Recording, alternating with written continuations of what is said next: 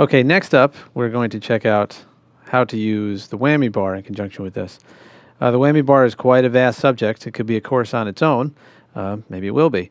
But for now, we're just going to uh, explore what I can do with the whammy bar in conjunction with all the techniques that we're talking about now. Since your fingers are going to be pretty busy, um, you know, your thumb, or if you're holding the pick and the hybrid picked fingers, uh, with this, I have the whammy bar cupped right there in my fourth finger. Um, and as I'm playing, I usually just grab it like that. I'll use my fingers and then take the fingers like that off, and then I have them right there. So what happens is, here I'll go back to our F9 chord we've been working with. I'm using a motion that looks more than it actually is. I'm relaxing my finger here, and I'm see how I'm toggling the bar. You can see me going away from the bar and coming back and grabbing it. It's kind of like that. I'm not actually gripping it really hard and doing all the motion that you're seeing. So I'm more massaging the bar here. And I'm going for this watery vibrato feel. In order to do that, though, you do have to have a tremolo system that allows your um, bridge to be floating, which means that you can pull up as well as down. So you're going to have to have a rout um, underneath the bridge. So when you pull the bridge up, it doesn't hit the wood. Uh, more often than not, guitars are set up not to float.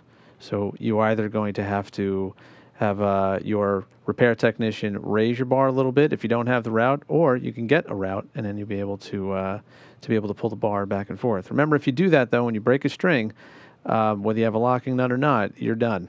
You got to get that string back on there. If you're floating, that's it, because uh, the string tension between all six strings to stay in tune becomes more important. So anyway, back to the bar here. I'm using it to get these water chords, and I'm also sometimes using it to get those quarter step inflections. I'm just getting small pitch vibrato here. So if I put it together, you say, let's do something here with a. It's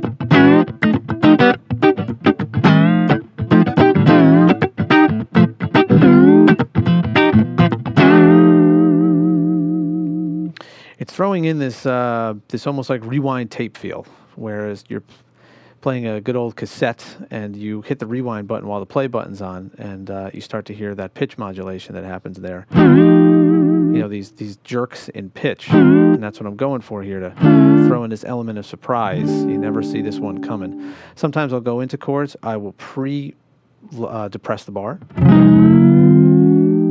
and slowly rise the chord, or do it quickly gives it a different attack. Instead of just strummed like that, I'll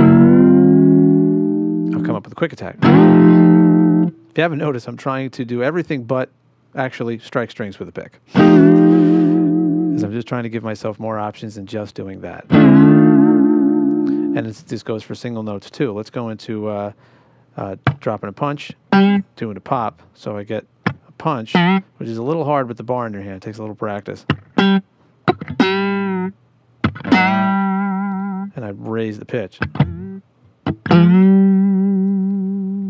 This all comes together when you start putting all the licks and the riffs uh, into one continuous flow of all these techniques, which we're about to do. But before we do that, let's go into a vamp and check out uh, what the bar sounds like uh, mixed in with some of the other techniques. So here we go.